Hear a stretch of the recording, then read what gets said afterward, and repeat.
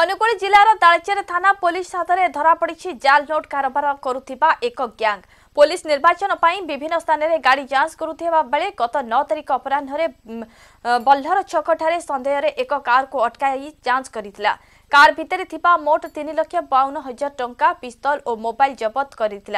এই ঘটনার পুলিশ তালচেরা স্টেশন বজারর বাবুল যাজপুরর সংগ্রাম পণ্ডা ও পদনা মল্লিকঙ্কু অটক রক্ষি পচরাউচরা করেছিল জবত টঙ্কা সবু জাল ও পিস্তল মধ্য খেলনা বলে জনাপড়া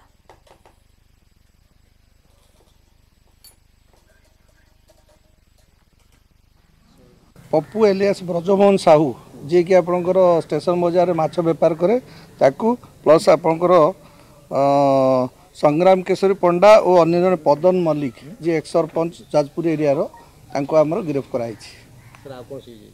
ଆପଣଙ୍କର ଟଙ୍କା ବାଦେ ଆପଣଙ୍କର ଗୋଟେ ଟଏ ଗନ୍ ସିଜ୍ କରାଯାଇଛି ଯେଉଁଟାକି ଟଏ ଲାଇଟର ଗନ୍ ଆଉ ଆପଣଙ୍କର पाँचटा खण्डे इ सिचे समस्तको मोबाइल फोन्स